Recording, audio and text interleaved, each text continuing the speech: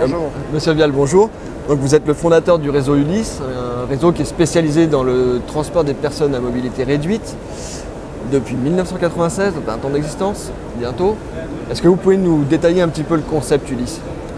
Alors à la base, euh, moi-même étant euh, en difficulté de transport, j'ai touché du doigt un petit peu la pauvreté qui existait il y a bientôt 20 ans maintenant euh, dans la région où j'habite, toujours niçoise.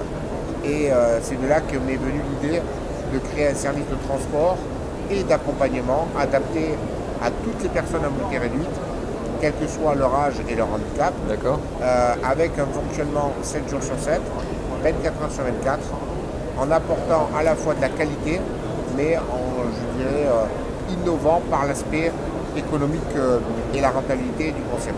D'accord. En innovant, c'est-à-dire Jusqu'à l'époque, n'existait que des structures associatives euh, qui euh, euh, fonctionnaient grâce à des subventions de l'État et autres. Aujourd'hui, grâce à Ulysse, j'ai fait la preuve que ce modèle économique était tout à fait viable, et duplicable puisque on arrive à 60 indépendants franchisés et qu'on va le voir plus tard, on a de gros objectifs pour l'avenir. D'accord, donc 60 indépendants franchisés. Qu'est-ce que, qu'est-ce que vous leur offrez à, ces créateurs d'entreprise qui vous rejoignent en termes d'accompagnement et qu'est-ce que vous leur offrez? Alors l'idée, comme dans tous les réseaux j'espère de franchise, c'est d'être dans un positionnement gagnant-gagnant. Donc un bon franchisé va donner de bons résultats et euh, l'enseigne sera bien représentée. Donc on va accentuer notre accompagnement sur le lancement de l'agence mhm. avec un gros travail préparatoire d'accompagnement au lancement où là, on va bien évidemment balayer euh, toutes les étapes de la création et de l'accompagnement et du lancement. Et ensuite, bien sûr, par l'animation de réseau, transmission de savoir-faire, on va, euh, je dirais, accompagner les franchisés dans leur développement, tout en contrôlant bien évidemment la qualité de leurs prestations.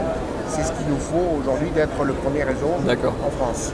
D'accord, le premier réseau dans le transport de personnes à mobilité réduite. Exactement. Et qu'est-ce que, à, qui s'adresse ce concept? Quel profil de, de créateur d'entreprise? Alors aujourd'hui, on a la chance dans notre euh, domaine d'avoir euh, une pluralité de typologies de candidats.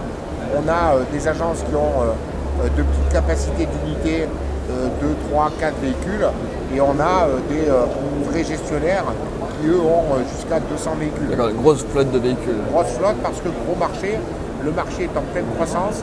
Il n'a toujours pas atteint aujourd'hui son point de maturité. Donc il y a de grosses, grosses et réelles opportunités.